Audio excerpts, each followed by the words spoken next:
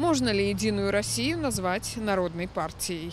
В каком-то смысле, да. Если верить э, официальной статистике, то за нее действительно голосует большинство.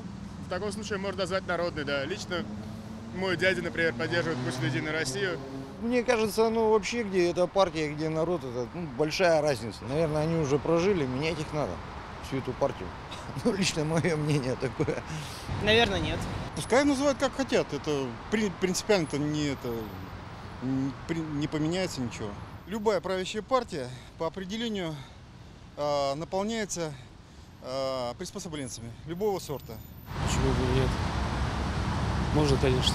Думаю, нет. Потому что в основном там состоят э, богатые люди, а богатые люди не всегда отстаивают интересы про- простого народа. Вполне можно, потому что, ну, как правило, она, она действительно стала единой за все это время. Народная она стала?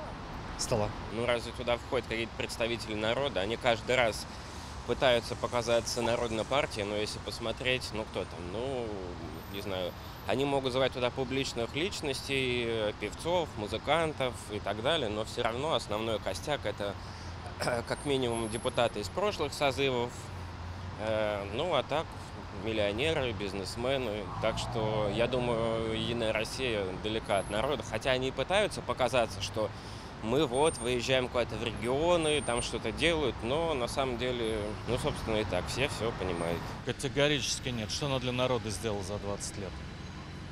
Нищенские пенсии, нулевые пособия, по 10 тысяч перед выборами дали военным да, и пенсионерам. Это самый бедный слой населения у нас военные. Ни о каком народе здесь речи нет. Никак. Почему?